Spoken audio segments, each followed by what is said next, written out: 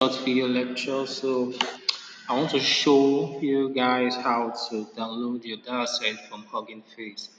Now Hugging Face is a large data bank that you can actually use to write your machine learning models, transformer models, and also collect data to work locally in your system. So here, I want to show you how easy it is to download um, dataset from Hugging Face, right? There are some dataset that requires you requires an API key, but you just need to register to get this dataset. While they are mo most most of them are free, right? So we'll look at the free ones here in this lecture. So I'll go to their site, which is Hugging Face already have it here, Hugging Face co slash the data set. Alright, so I'll click and enter. Okay, you can see yeah, I can try to search any data that I'm looking for here. So let's assume that I want to work on um, let's assume that I want to work on sentiment analysis.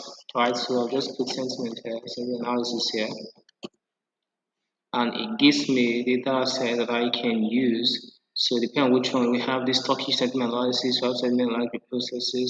So let me use finance sentiment analysis. So I click on finance sentiment analysis and it gives me the data set. Now what I will do here, so this is the set, right? So let me use. So what I will do here is just to copy this name, right? I've copied this. I didn't copy the asset set. You can see what I did here. So I'll go to my Python script here, right? This Visual Studio, which is the integrated development environment I'm using. So let me just create a script. Let me just put and download the Py, right? So what I'll do, I've already installed and the I've already installed the data sets right? If you, don't have it, all you just need to do is to create a virtual environment. Now go to create a virtual environment, is py-n VNV, ENV, and press enter. So once you're done with that, you now activate the environment, which name of my environment is ENV, right? You can see the name of my environment, I've already created it here.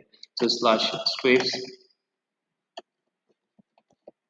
slash scripts, slash activate, and you click enter. So when you click enter, you see something like this here, right, on your terminal, on your terminal here. So I've already installed my data set. It's just to use pip install data set right so when you click on it install when you get mine done so once you've done that you have to like get the from data sets right from the data sets we're importing the load data set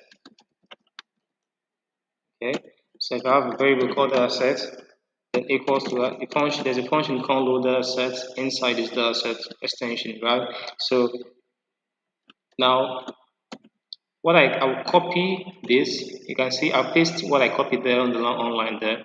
So now to collect the data all I just need to do is the data set.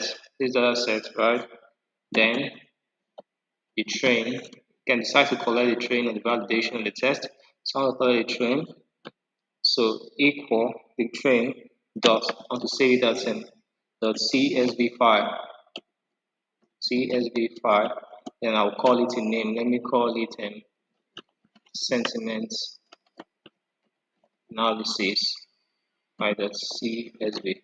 Okay. So when I run this, which is Py, download Py. So let's wait. But it's taking time because it's using the internet to actually get it. Right. So you can see how you can see how it's retrieving it, right? You can see what it's doing. It has gotten, you can see the data set here. Can you see that?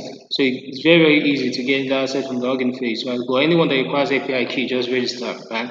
So thank you and God bless you. I hope you understand the short video is very simple. Thank you and God bless you. Thank you. Thank you.